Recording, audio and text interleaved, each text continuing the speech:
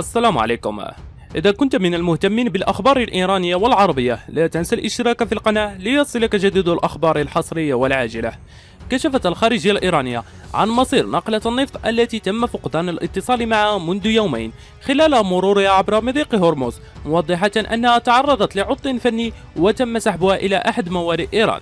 وقال المتحدث باسم الوزارة عباس موسوي في تصريح مقتطب للتلفزيون الإيراني أدلى به مساء اليوم الثلاثاء إن ناقلة نفطية أجنبية تعرضت لعطل فني في مياه الخليج وتوجهت بطلب مساعدة إلى الطرف الإيراني وأضاف موسوي أن القوات البحرية الإيرانية قامت وفقا للقوانين الدولية بسحب ناقلة النفط إلى أحد الموانئ الواقعة على مياه إيران بعد أن أطلقت طلب المساعدة وذلك لكي يتم تصليح السفينة.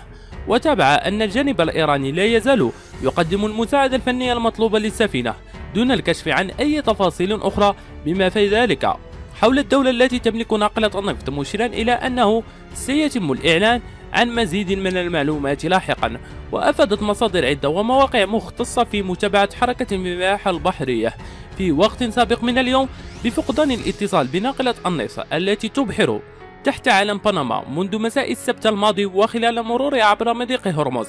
وكان من المقرر أن تصل السفينة إلى ميناء الشارقة الإماراتية. لكن ذلك لم يتم حتى الآن فيما نفت الإمارات رسميا الثلاثاء أن ناقلة النفط تابعة لها.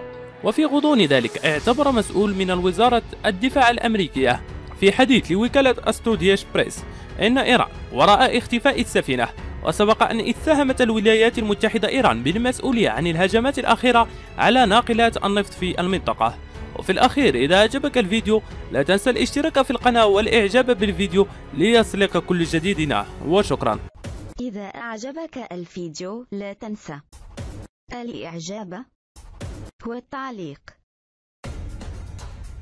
ولكي يصلك كل جديد. اشترك الآن.